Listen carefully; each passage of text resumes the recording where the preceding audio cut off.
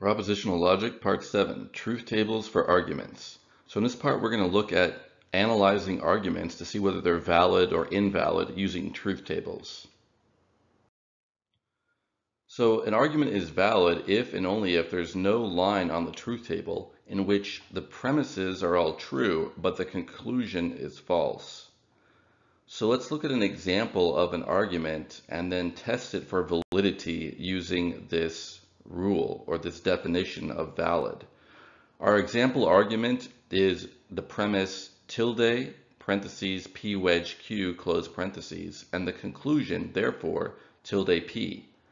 So a slightly more intuitive way of putting this, um, your premise is it's false that either p or q are true and your conclusion is that therefore not p is true. Or that's another way of saying P is false. It's false that P. So to tell whether it's valid using a truth table, we start by constructing a truth table. We only have two simple propositions in this argument, P and Q. So that means our truth table is going to have four rows. There has to be um, a total of four columns, one for each of our simple propositions P and Q, and one for our two compound propositions. We have one compound proposition, that's the premise, and another compound proposition, tilde p, that's the conclusion. You'll also notice on the truth table that there's a slash before the tilde p.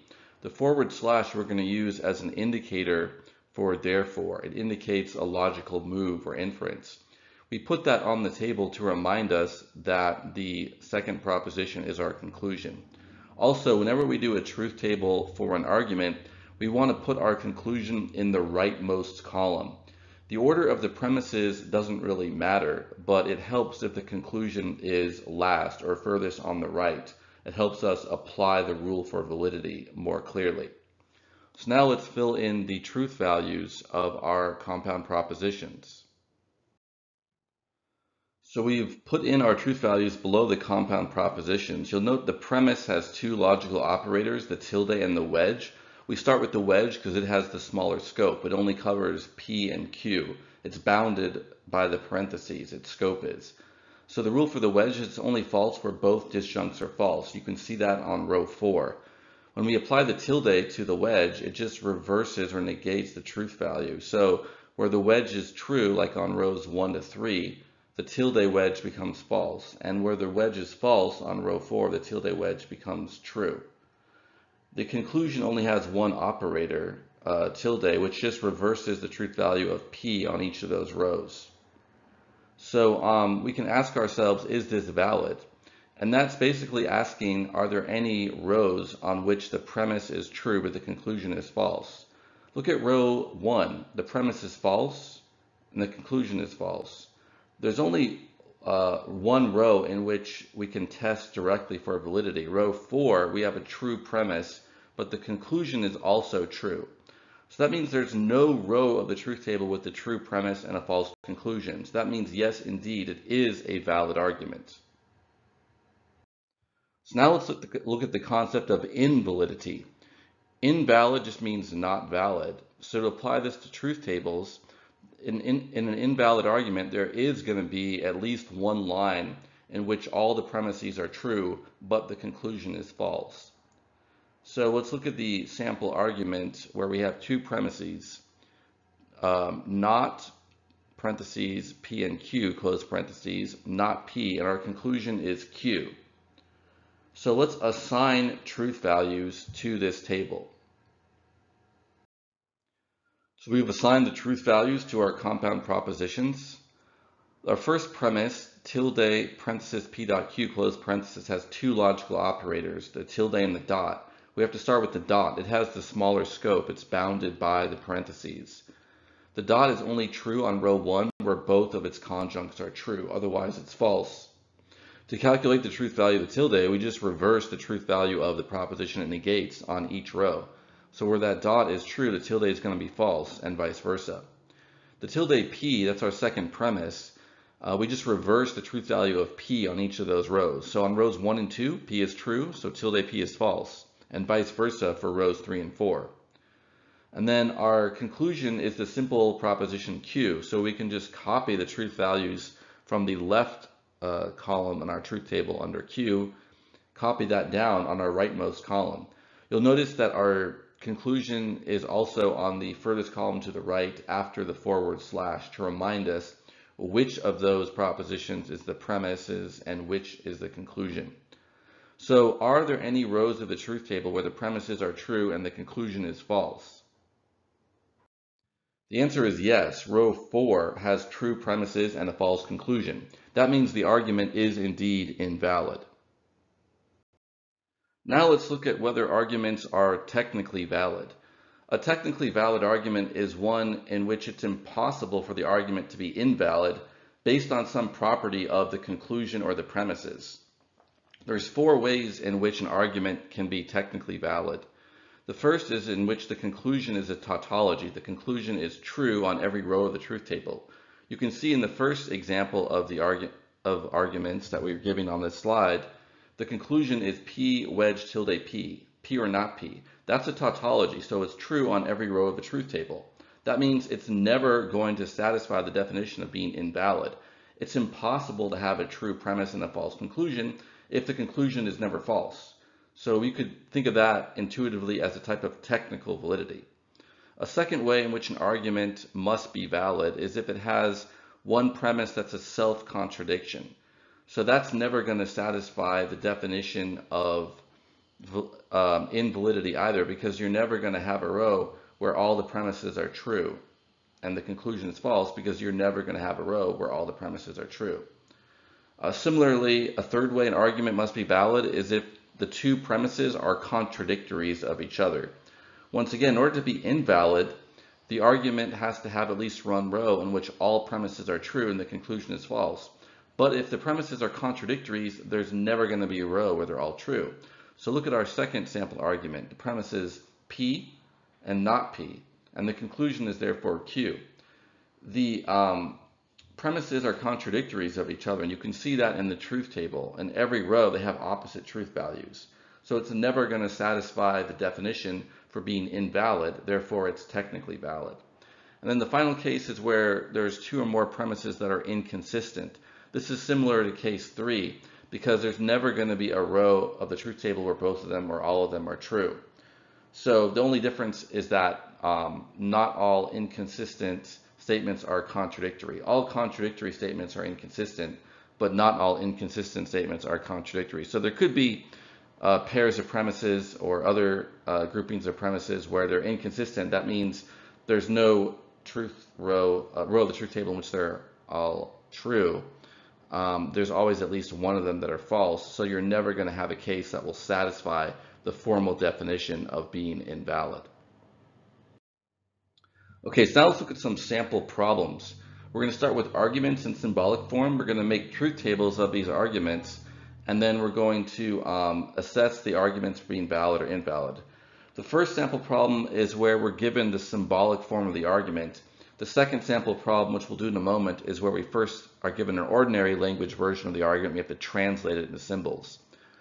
So in this case, we have two premises, tilde parentheses, tilde r dot tilde s close parentheses is our first premise. Our second premise is tilde s, and our conclusion after the slash is tilde r. So to begin with, let's construct a truth table for this argument. You can see that there are four rows of the truth table because we have two simple propositions, R and S. There are two premises and one conclusion, so that means we need three more columns of the truth table after we have the columns for the simple propositions R and S. So we filled in all of the truth values of our premises and our conclusion. Um, to just briefly go over this, you'll notice the main operator of the first premise is the tilde, so that's in bold. Our second premise, tilde s, only has one operator, so that's going to be the main operator, and our conclusion, tilde r, also only has one operator. So to tell if it's valid, we have to see are there any rows of the truth table uh, in which we have true premises and a false conclusion.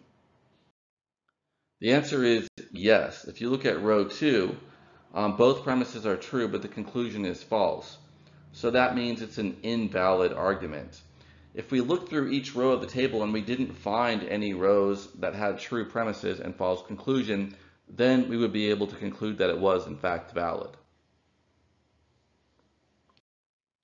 A second example, we start with the argument in ordinary language. So first we have to translate this into symbolic form before we can create the truth table. So as a reminder, a useful tip um, is to first identify the logical operator terms as a basis for your eventual translation. So in this case, we have two different sets of logical operator terms, the either and the or, which go together, and the not. There are no other logical operator terms. So you might think at first the either or are two different logical operators, but because they're a pair, they're actually going to be translated together. The next step to create our translation is to look for the simple propositions. So the first simple proposition is you take a breathalyzer test. The second simple proposition is you get arrested for DUI.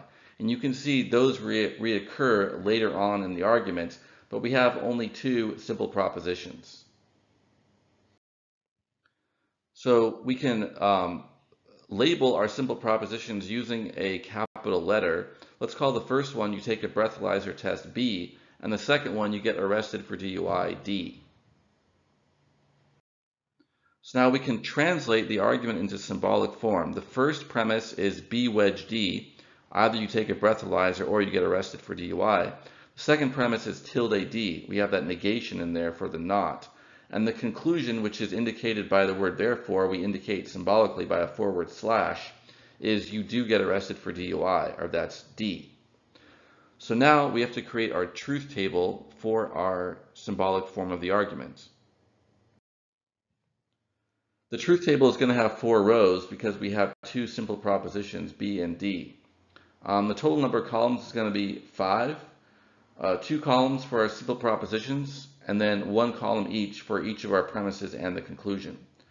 So then we have to ask ourselves, are there any rows of the truth table in which there are true premises but false conclusion? If so, it's invalid. If not, it's valid. The answer is this is a valid argument because there's no rows of the truth table in which we have true premises and false conclusion. On row 3, both premises are true, but the conclusion is also true, so that means uh, taken as a whole, there's no other rows that satisfy the definition of invalid. That means the argument is valid. So the truth tables are powerful because they allow us to calculate for individual arguments whether they're valid or invalid. We can expand on the utility of the truth table by relying upon the concept of argument form.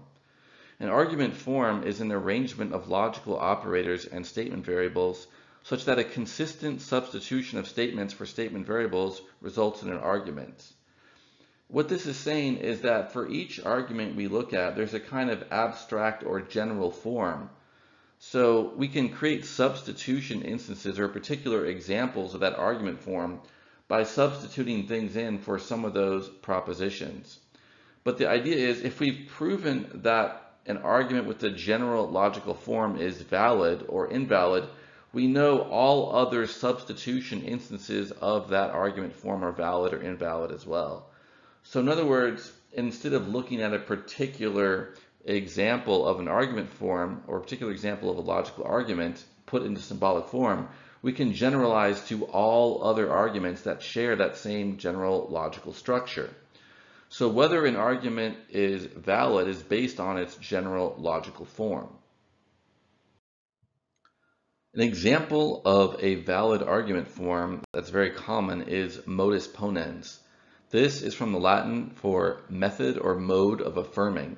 It's because the first premise is a conditional proposition and the second or other premise is the antecedent of that conditional. So you're saying with the other premise that the antecedent is true. You're affirming the antecedent. Here's an ordinary language example of this argument form. If you study hard, then you will get an A. You did study hard, therefore you'll get an A. So translated into symbols, we can use the letter S for the proposition you study hard, and the letter A for the proposition you will get an A. Um, so the whole proposition become the whole argument becomes S horseshoe A is the first premise, Second premise is S, and the conclusion is A. And you'll notice there's no row of this truth table in which both premises are true and the conclusion is false. So it does count as a valid argument form. And once again, the reason why the notion of a general argument form is powerful is because any argument that shares this general form is going to be valid. First of all, we can substitute different simple propositions in for the S and the A. So no matter what capital letter we put in there, as long as we substitute it consistently, it's going to share the same logical argument form. So for example, if we had the, the arguments P horseshoe Q, P therefore Q, it's going to have the same form, it's still going to be valid. And also a more complex type of substitution, which we'll talk about more when we get to um, chapter 8 or the part on proofs, is that um, you can substitute in compound propositions for the simpler propositions shown here. So if we had an argument that was, for example, if P and Q then R, P and Q therefore R, it would have the same general form as modus ponens, so it would still be valid. Now let's look at an example of a fallacy, an invalid argument form we can prove that this argument is invalid using the truth table. Um, the argument form is called affirming the consequent because it starts with a conditional, but the other premise is not the antecedent, unlike modus ponens. It's actually the consequent of that conditional. So let's look at an ordinary language example. If you study hard, then you'll get an A. You got an A, therefore you studied hard. If you're not thinking very carefully, this could sound like a valid argument. But if you look at row three of the truth table, you see both of those premises are true, and yet the conclusion is false. That means it's an invalid argument form. And once again, all substitution instances of this general argument form will also be invalid. A second very common valid argument form is modus tollens. This is from the Latin for the method or mode of denying. Like modus ponens, one of the premises is a conditional, but the other premise is a negation. It negates the consequent of that conditional, so you're denying the consequent. The ordinary language example is if you study hard, then you will get an A. You did not get an A, therefore you did not study hard. If you look at the truth table for this argument, you'll see there's no row that has true premises and false conclusion. Therefore, it is a valid argument form. There's a fallacy called the fallacy of denying the antecedent that looks a lot like modus tollens, but is actually invalid. Like modus tollens, it starts with a conditional, and like modus tollens, the other premise is a negation. However, the negation premise negates the antecedent of the conditional rather than the consequent, and that's enough to make it invalid. Let's look at an ordinary language example. If you study hard, then you'll get an A. You did not study hard, therefore you did not get an A. If you look at row 3 of the truth table for this argument, both of the premises are true, but the conclusion is false. That proves this argument form is invalid.